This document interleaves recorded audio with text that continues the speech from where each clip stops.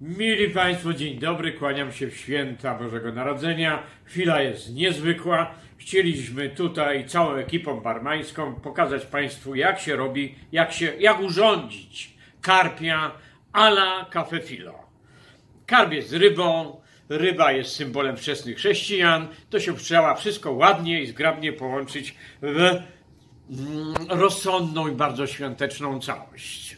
No więc obserwujemy filmik, który dziś Wam pokaże, jak urządzić karpia w ten doniosły czas. Lo.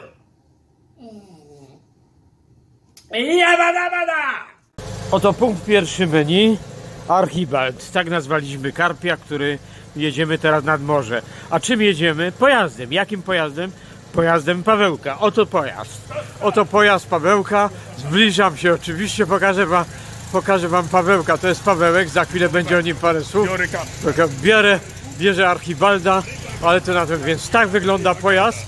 Nie gasiliśmy go, bo już można byłoby go nie odpalić. Oto proszę Państwa, następny etap e, naszej podróży. Przyjechaliśmy tutaj z Pawełkiem i z Archibaldem, mówię o tej rybie. Przyjechaliśmy nad morze do Kryspinowa. To jest właśnie morze. Jest morze, jest. Morze, mamy brzeg morza, plażę. I tutaj Archibald popłynie sobie, proszę Państwa, zgodnie ze swoim własnym przeznaczeniem. Bo chcę Wam powiedzieć z całą mocą, że ryba jest do pływania, a nie do galery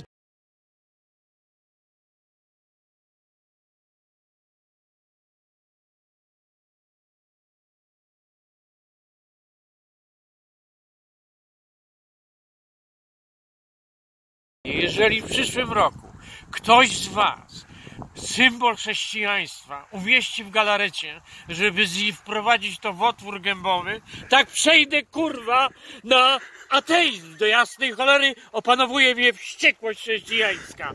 Oto jak urządzić karpia. Mieliście przepis, wiecie wszystko. Jestem wkurwiony.